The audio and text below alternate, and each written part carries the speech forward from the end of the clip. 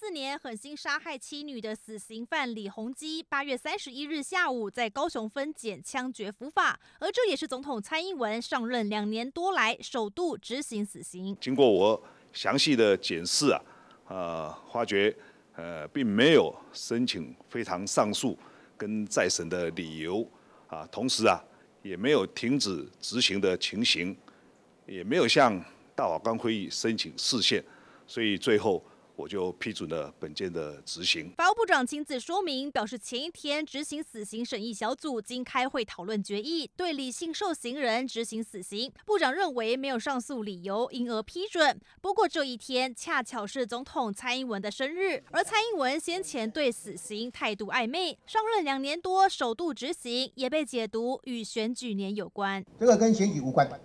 绝对无关，也跟政治无关。这个执行是法务部长的全责。那事实上，我们也不知道今天是总统的生日，